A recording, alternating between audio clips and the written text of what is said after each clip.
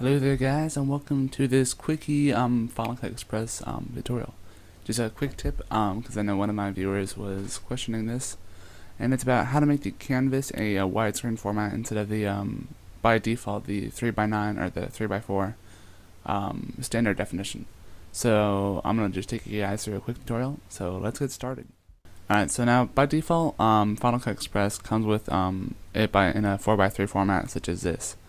However, um, if someone were to um, have this like a widescreen project like this, and they bring it to the timeline, um, this or just like some footage, you can notice that there's um, we got some black bars along the um, bottom and top here, and um, that's because um, you know the uh, editor is set by 4 by 3 but um, the, the footage is in um, 16 by 9. So if you were to export this, you'd probably get something that looks a little bit like this. Hello. As you can see, we have the bars along the top and bottom here. Well, if you were to um, export it in um, the widescreen format, it would look like this. Hello. That is TA.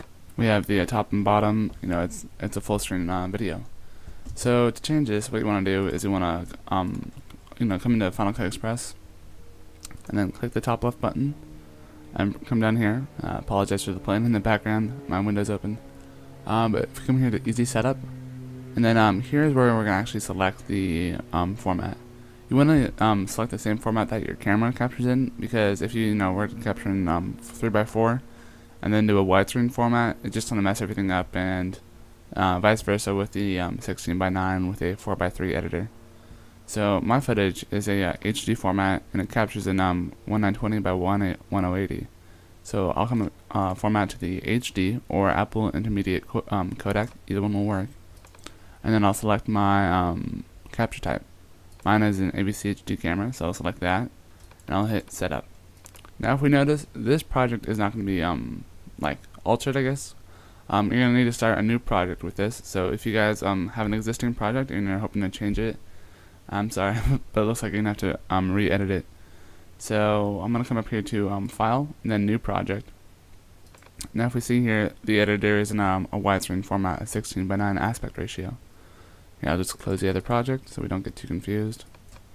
And then if I'll um, drag the same footage, the milk challenge video, bring it into my timeline, we can see here it is now a widescreen format, so when I do export it finally, um, it'll look like this with the uh, full screen bars. So, um, this is just a quick little tutorial. If you guys want more of these, I'm making new videos um, every Monday, Wednesday, and Friday. Um, except for today, because today is Saturday, and I just kind of wanted to do this little extra one for my um, viewer.